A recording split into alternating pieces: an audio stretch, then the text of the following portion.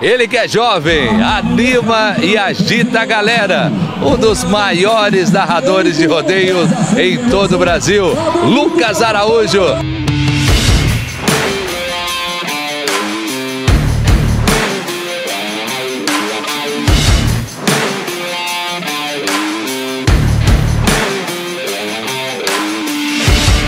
Primeiramente, a gente agradece a Deus, depois da pandemia, a gente poder ter voltado a fazer o que a gente mais gosta nesse mundo, principalmente eu, que é o meu trabalho. E quero parabenizar o Thales Vitor, todo o pessoal da prefeitura, meu querido prefeito Branquinho, parabenizar todos vocês que fizeram uma festa impecável em Vicentinópolis, onde nós chegamos esse ano de 2022 com um super e mega parque de exposições, o novo parque de exposições municipal, que está aí para receber todos vocês que estão vindo participar da nossa querida festa. Lucas, lembrando que você, apesar de jovem, 23 anos, já tem 13 anos na arena. Gente, olha aí pra vocês verem. São 13 anos trabalhando nas melhores festas do Brasil.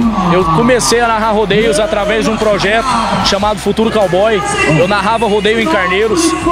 Eu fui crescendo, fui evoluindo, não deixei a peteca cair e graças a Deus, de tanto eu insistir, Deus me permitiu que eu se tornasse um grande locutor de rodeio.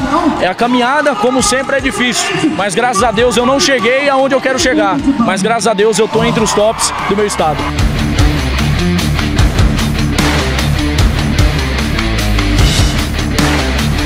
Mais uma vez eu parabenizo Thales Vitor, os melhores cowboys do estado de Goiás estão aqui em Vicentinópolis dando um show para cada um de vocês. Ao abrir a porteira, oito segundos, nós alcançamos o inesperado.